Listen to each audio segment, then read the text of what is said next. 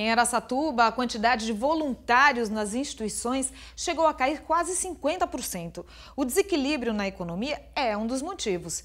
É que tem gente usando o tempo livre para trabalhar mais e pagar as contas, né?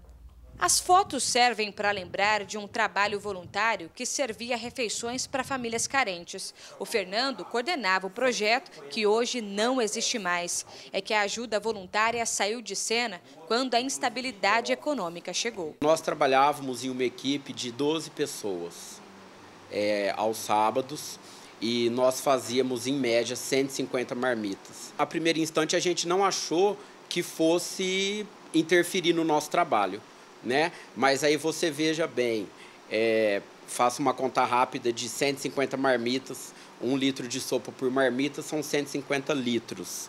Né? Mais legumes, que hoje já não é muito barato, por exemplo, batata, cenoura, né? Ou até mesmo uma carne moída ou um frango. Por outro lado, tem projetos sociais que ainda continuam, mas com a quantidade de voluntários diminuindo cada vez mais. Nesta instituição, que oferece atividades de graça fora do período escolar para 100 crianças de Araçatuba, restou a metade das pessoas que ajudavam aqui no início do ano. Por causa da crise no país, as pessoas estão tendo que trabalhar mais, né, para conseguir dar conta, né, de de fazer as mesmas coisas que faziam antes.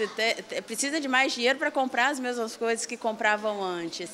Então acaba tendo que trabalhar mais, tendo menos tempo vago para ajudar e menos dinheiro para poder né, está ajudando as, as, instituições financeiramente. Com menos gente para atender a mesma quantidade de crianças, o serviço acaba pesando para quem ficou.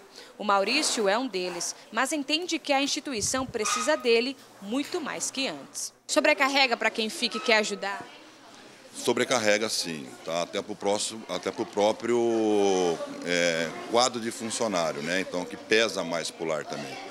Então a presença dos voluntários é bastante interessante para isso também, para evitar que temos que contratar alguém para fazer esse tipo de serviço. Neste asilo, com 46 idosos, a rotina de cuidados com os internos fica por conta dos profissionais contratados pela entidade. Aqui no asilo, um trabalho importante feito por voluntários é a confecção de fraldas geriátricas. Só que o número de pessoas na produção reduziu cerca de 30% e, consequentemente, as máquinas estão funcionando com menos frequência. É que antes elas eram ligadas toda semana. Agora a confecção só é feita a cada 15 dias. Mensalmente a gente consome 2.200 fraldas né, geriátricas. Então assim, precisamos estar produzindo para não haver necessidade de comprar no mercado.